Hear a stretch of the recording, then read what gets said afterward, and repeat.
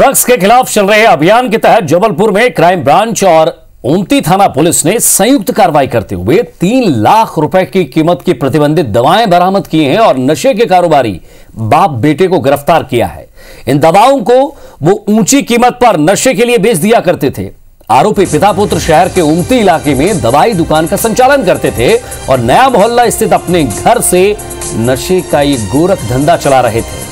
आरोपियों के ठिकानों पर छापामार कार्रवाई करते हुए पुलिस ने करीब तीन लाख रुपयों की प्रतिबंधित दवाएँ और करीब पैंतालीस हज़ार रुपए की नकद राशि बरामद की है।